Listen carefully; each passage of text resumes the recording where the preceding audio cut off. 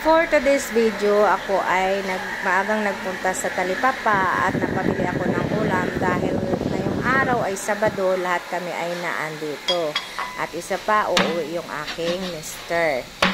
Ngayon ay namili ako ng karne sa Talipapa at dahil kami lang naman dito ng aking tatay sa bahay, ang luluna kong lulutuin para ulam namin ngayong tanghali ay patola na nilagyan ko ng manok. Igigisa ko lang naman yan siya guys.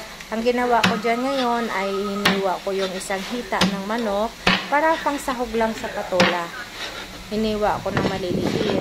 Tapos hinugasan ko na yan dyan. And then ha, after hugasan, eh, hiniwa ko na yung patola. Binalatan ko muna syempre.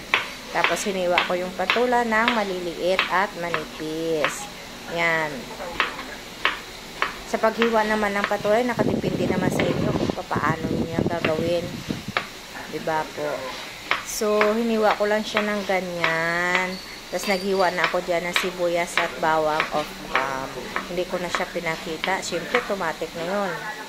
And then, ginisa ko na rin yan dyan. Hindi ko rin pinakita. Kasi alam niyo naman kung paano magisa ng karne, siyempre.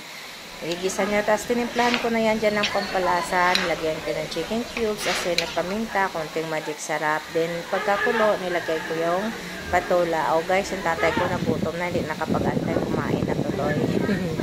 And then, nagkumulo ay nilagay ko na yung miswa. Paglagay na miswa, konting halo-halo. And then, tapos na. Ayan.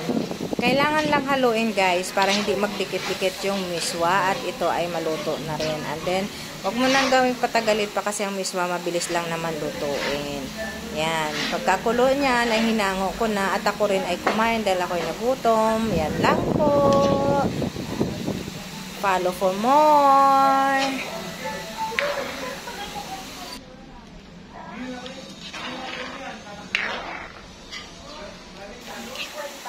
Thank you Lord sa blessings. Kain tayo. Good morning.